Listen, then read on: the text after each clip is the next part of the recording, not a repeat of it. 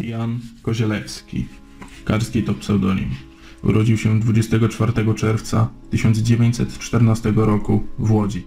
Ukończył prawo i dyplomację i tuż przed wybuchem II wojny światowej rozpoczął karierę dyplomatyczną w Ministerstwie Spraw Zagranicznych.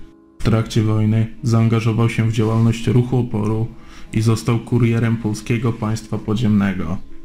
Dwukrotnie przedostał się do warszawskiego getta, by na własne oczy zobaczyć tragiczną sytuację Żydów.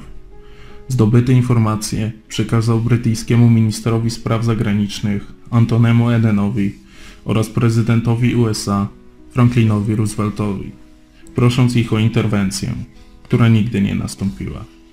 Po wojnie Karski pozostał w USA. Stał się międzynarodową ikoną walki o godność i prawa człowieka. Został odznaczony tytułem Sprawiedliwego wśród Narodów Świata, Orderem Orła Białego oraz amerykańskim prezydenckim Medalem Wolności.